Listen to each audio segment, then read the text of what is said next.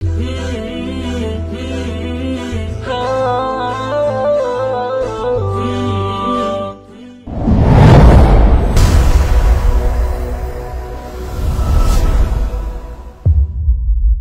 There are billions of people in this world इस दुनिया के अंदर हज़ारों लोग आए और हज़ारों लोग गए। लेकिन बहुत कम ऐसे लोग थे जिन्होंने अपने मतलब की ज़िंदगी जी। बाकी सबने ज़िंदगी दूसरे लोगों की तरह ज़िंदगी गुजारी, एक डिफाइंड लाइफ गुजारी। यार उसने ये किया तो मैं भी ये करूँगा। मेरे फादर ने आज मुझे ये क्या करने को? तो जो मेरे फादर ने कहा, मैं वही करूँगा। अपना पैशन नहीं देखूँगा। यानी जो लोगों ने कहा, मैं वैसी ज़िंदगी गुजार रहा हूँ। वो नहीं देखा कि मेरा पैशन क्या है। एंड और ज़िंदगी गुजारने और ज़िंदगी जीने बहुत फ़र्क है। और जो इंसान ज़िंदगी जी रहा होता है, उसकी लाइफ दूसरों की लाइफ से सबसे यूनिक होती है। सबसे अलग होती है। For example this is a pen अगर मैं आपसे पूछूँ कि आप में से कितने लोग हैं जो कि पेन पूरा अपना खत्म करते हैं? फॉर एग्ज़ाम्पल हम काम करते हैं और अभी पेन खत्म पूरा भी नहीं होता आप फेंक देते हैं उसे राइट लेकिन अगर मैं आपसे कहूँ कि ये वही पेन है जिससे आइंस्टाइन ने अपनी थ्योरी लिखी थी तो क्या इंपॉर्टेंस होगी उसकी? होगी ना इंपॉर्टेंस क्यों? क्योंकि यूनिक है ये। सबसे अलग है। इसी तरह, अगर हम एक अलामा इकबाल की एग्ज़ाम्पल लें तो अलामा इकबाल किस लिए मशहूर है आज? अपनी मुछों की वजह से, अपनी शॉल की वजह से, अपने उस विजन की वजह से। उन्होंने उस वक्त मुसलमानों की तकलीफें देखते हुए एक विजन सेट किया। पाकिस्तान देख नहीं सके, लेकिन ऑल तो वो चले गए, लेकिन आज भी वो हर पाकिस्तानी उसको उनको याद, उनको पता है कि कौन थे लामा इकबाल। उनकी पोइट्री इस तरह थी जिस तरह, जिसने मुसलमानों के जज्बात बढ़ाए तो आज भी वो मशहूर है। एक और एग्ज़ाम्पल अब्दुल सतार थी कितना करके गए? सिर्फ़ इंसानों के लिए नहीं, जानवरों के लिए भी कितना करके गए। ओल्ड होम्स बनाए उन्होंने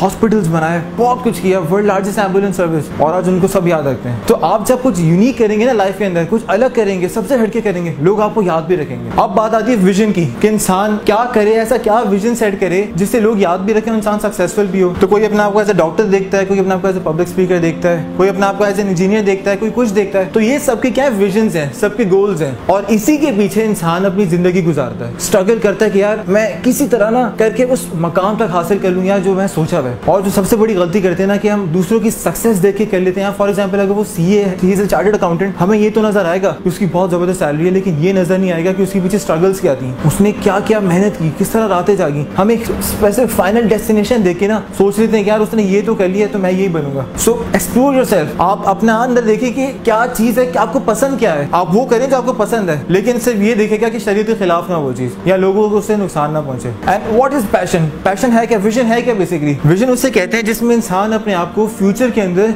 एज ए सक्सेसफुल पर्सन देखता है। ज़रूरी नहीं है कि वो पैसे से रिलेटेड हो। इंसान अपने आप को as a service to humanity भी देख सकता है। बहुत कुछ, बहुत डिफरेंट सेंस डिफरेंट एस्पेक्ट से देख सकता है अपने आप को एज ए सक्सेसफुल पर्सन सबके अलग अलग विजन है। और जिस इंसान का विजन नहीं होता लाइफ के अंदर। उसकी एग्ज़ाम्पल उस भेड़िए की तरह होती है, जिससे उसका चरवाहा ना डंडियों से चलाता है। आप लोगों के पास जाएँगे कि यार मैं ये बनना चाहता हूँ, वो आपको बता देंगे, यार, इसमें कोई स्कोप नहीं है तुम्हें काम करो, ये करो। फिर आप उसके पास जाएँगे, कहेंगे, यार, मैं ये करना चाहता हूँ। वो कहेगा, नहीं यार, इसमें कोई स्कोप नहीं है। तुम एक काम करो, कुछ और कर लो। तो जब आपकी लाइफ में एक विजन नहीं होगा ना, लोग आपको इसी तरह इधर से उधर शिफ्ट करते रहेंगे, क्योंकि आपको अपना रास्ता ही नहीं पता कि आपने करना क्या आगे जाके। अब जैसे कि ऐसर ने बताया कि इनका विजन है डॉक्टर बनना। उन्होंने बताया, मेरा विजन है पब्लिक स्पीकर बनना। सही? काफ़ी लोगों का विजन है। लेकिन यहाँ पे ऐसे कई लोग भी मौजूद होंगे जिनका विजन नहीं होगा लाइफ में. It's okay it's never too late कोई बात नहीं. आज रात को घर जाए आप रिलैक्स होकर सोचें आपको पसंद क्या चीज़ है. विजन बनाने का जो इजी फॉर्मूला है ना, वो ये है कि इंसान अपना पैशन देखे और उससे अपना एज प्रोफेशन चूज़ करे. And then put is hundred percent into it ये नहीं है कि इंसान अगर पैशन अपना चूज़ कर ले और उसको अ प्रोफेशन ना देखे तो ये विजन तो ये विजन नहीं हो सकता. आपको दोनों चीज़ों को कंबाइन करना पड़ेगा उसके अंदर. Combine this two things and then put hundred percent into तब जाके आपका विजन बनेगा.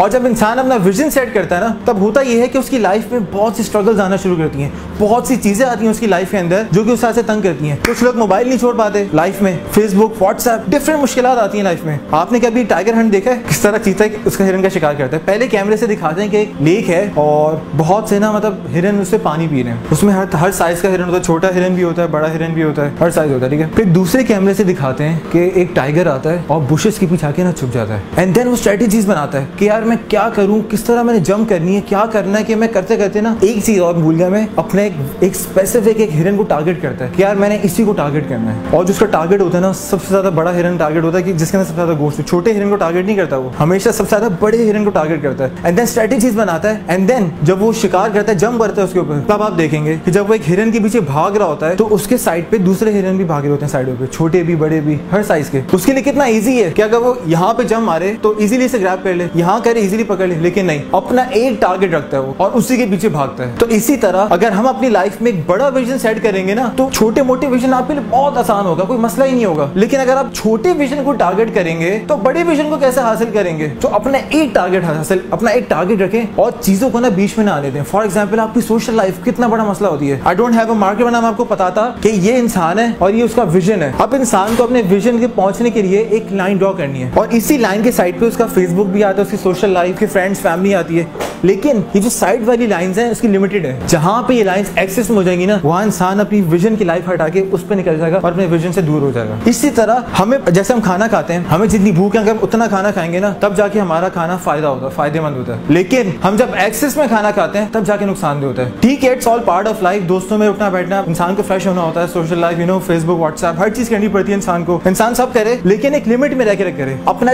टाइम टेबल ड्रॉ कर, यार, मैंने इतना टाइम देना है, मेरी रूटीन का काम है, ठीक है, कोई मसला, इंसान कोई चीज़ छोड़ नहीं सकता, कोई भी फरिश्ता नहीं यहाँ पे। लेकिन एक लिमिट रखे उसे। और उस लिमिट उसको अपने विजन के रास्ते में ना आने दें। एंड देन हर किसी की लाइफ में होता है। किसी की लाइफ में बहुत जल्दी आ जाता है, किसी की लाइफ में बहुत बाद में आता है, किसी की लाइफ में फोर्टीज में आता है। होता यह है कि इंसान की लाइफ ना बहुत अच्छी जा रही है। एंड देन उसकी लाइफ में फेलियर्स एंड डाउनफॉल आना स्टार्ट होते हैं। फॉर एग्ज़ाम्पल कॉलेज में फेल हो गया, इंसान गिर जाता है। पेरेंट्स में से किसी की डेथ हो गई, इंसान मॉरली स्पिरिचुअली बहुत डाउन हो जाता है। बिज़नेस में नुकसान हो गया, इंसान नीचे गिर जाता है। हम जैसे इंसान। लेकिन जिस इंसान का विजन स्ट्रांग होता है ना, उसका विजन होता है जो उसे खड़ा करता है। उसे पता है कि चीज़ें मैटर नहीं करती मेरे लिए। उसको पता है ऑल पार्ट ऑफ़ लाइफ कुछ नहीं होता। लाइफ का हिस्सा है ना आएँगी, ठीक है, एक टाइम पीरियड होता है इंसान का। इंसान उस टाइम पीरियड में गुजारे एंड इट्स ओके चली जाएगा। ये टाइम पीरियड चले जाएगा, कोई मसले की बात ही नहीं है। उसके अपने हावी ना करें उन चीज़ों को। और फेलियर जहाँ तक फेलियर की बात है ना, एक वाइस पर्सन हमेशा फेलियर से सीख के जाता है हमेशा। फेलियर को हार हारना फेलियर को नहीं कहते। अल्लाह तो कुरान में भी फरमाता है कि जब इंसान को तकलीफ़ देते ना, तब जाके उसका स्पिरिचुअलिज्म हाई होता है। यानी जब इंसान को तकलीफ़ ही नहीं देंगे तो how will he think something is wrong इंसान को जब तकलीफें पहुँची, तब जाके नए रास्ते निकालता है। इन्वेंशन सारी इसी तरह हुई थी। इंसान को तकलीफ़ आई और कोई ना कोई हल निकालना था। और इंसान ने इन्वेंट करते करते बहुत सारे फेलियर्स भी आए, लेकिन इंसान ने अपने विजन तक पहुँचा और नई चीज़ इन्वेंट की। और जब अपने विजन पे चल रहे होते हैं तो होता ये है कि आप काफ़ी मुश्किल आती है आपकी लाइफ में। एक तो बहुत बड़ी एग्ज़ाम्पल ये थी कि सोशल लाइफ आपकी और आपके दोस्त। और एक एग्ज़ाम्पल आती है कि लोग आपको ना बहुत डिमोटिवेट करते हैं। भाई, अगर आप कुछ भी करेंगे, मैंने तो एक चीज़ नोट की है कि जो इंसान, दूसरे को डिमोटिवेट वही करता है, जो आपके लेवल तक नहीं पहुँच सकता। अपना, ठीक है, उनकी बात लोग कहेंगे आपको। आप कुछ भी करें, एक तरफ़ लोग आपको अच्छा भी कहेंगे, एक तरफ़ लोग आपको बुरा भी कहेंगे। आप लोगों की अच्छी की बात अपने आप को ठीक है रखें क्योंकि बुरी बात है ना। लेसन हासिल करें उससे ज़रूर लेकिन अपने पर हावी ना करें। एक कहानी से सुनाता हूँ आप लोगों को। दो दोस्त थे गाँव के। एक छह साल का था एक दस साल का था। तो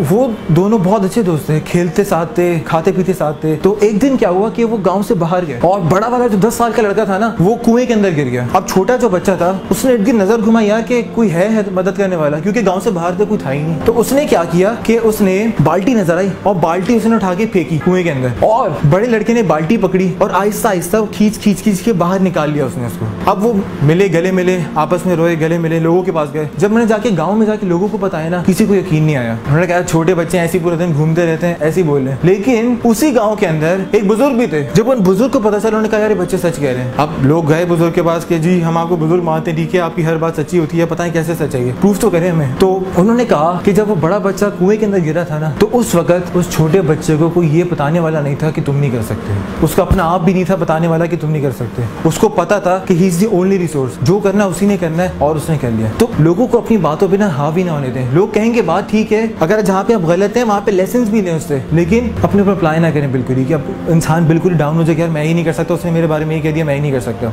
और जो सबसे बड़ा एस्पेक्ट है इंसान की लाइफ में, जो कि इंसान को उसके विजन से करीब करता है, वो ये है उसका अपना बिलीफ सिस्टम इंसान का अगर बिलीफ सिस्टम स्ट्रांग होगा ना तो इंसान कुछ भी कर सकता है। मैं बता रहा हूँ कुछ भी कर सकता है। जैसे कि जब मैं क्लास टेन में था तो हमारा एक साइंस फेयर था। तो मेरा दोस्त आया मेरे पास, कहने लगा कि यार एक प्रोजेक्ट बनाते हैं। मैंने कहा शो कोई मसला नहीं है। उसने मुझे आइडिया दिया कि यार हम काम करते हैं पेंटाइल प्लेट्स के थ्रू धूप से बिजली बनाते हैं न्यूट्रॉन प्रोटॉन के ज़रिए ना। मैंने कहा उस्मान, कैसी बातें कर रहा है? ये तो बहुत मुश्किल है। मैं नहीं कर रहा इसके पार्टना उसने कहा, यार, हो जाएगा। मैंने कहा, नहीं मैं कर नहीं रहा, मैं दूसरा प्रोजेक्ट कर रहा हूँ। वो अलग हो गया मुझसे। और दूसरा दोस्त आया मेरे पास, कहने लगा, यार, कि हम प्रोजेक्ट करते हैं आइडिया दो। मैंने उससे वही कॉमन सा आइडिया दी थी। मैंने क्या काम करते हैं, सदर चलते हैं सोलर पैनल्स खरीदते हैं और ना कोई मोटर लगा के ना एक छोटा सा प्रोजेक्ट तैयार कर देते हैं। प्रोजेक्ट तो था बहुत आसान। लेकिन उसका माइंड एक्सेप्ट नहीं कर पा रहा था। एंड एट दी एंड वो जो आसान वाला प्रोजेक्ट जिसको मैंने सजेस्ट किया था ना, वो नहीं कर पाया। ऑल दो प्रोजेक्ट तो बहुत आसान था, लेकिन उसका अपने माइंड ने एक्सेप्ट नहीं किया था। लेकिन जो मेरा दूसरा दोस्त था, उसको मैंने बहुत डिमोटिवेट किया था, यार, तुम नहीं कर सकते ये चीज़। लेकिन उसका अपना बिलीफ सिस्टम इतना स्ट्रॉन्ग था, वो साइंस प्रोजेक्ट भी जीता, इस्लामाबाद भी गया, इस्लामाबाद से अमेरिका भी गया इंटेल साइंस फेयर के अंदर। क्योंकि उसका अपना सेल्फ सिस्टम बहुत स्ट्रॉन्ग था। भाई, इंसान को सक्सेस चाहिए ना। सक्सेस के लिए आपको फेलियर चाहिए होंगे। Success comes from experience and experience comes from bad experience आपके पास हज़ार रीजन होंगे कि आप नहीं कर सकते। लेकिन एक वजह तो होगी ना जिससे आप कर सकते हैं। और एक वजह यही काफ़ी है कि इंसान ये सोच ले कि अगर दूसरा कर सकता है तो मैं भी कर सकता हूँ। एक एक रीजन को पकड़ ले आप। इसी को रीजन बना ले कि यार अगर वो कर सकते हो तो मैं भी कर सकता हूँ। अगर आपने सच्चे दिल से कहा अपने आप से, अगर आपने सच्चे दिल से कहा यार I can achieve that so I am telling you will achieve your vision you will all achieve your vision your goals your aims जो भी आपको अपने आप को देखना चाहते हैं ना you will achieve your position your vision your goals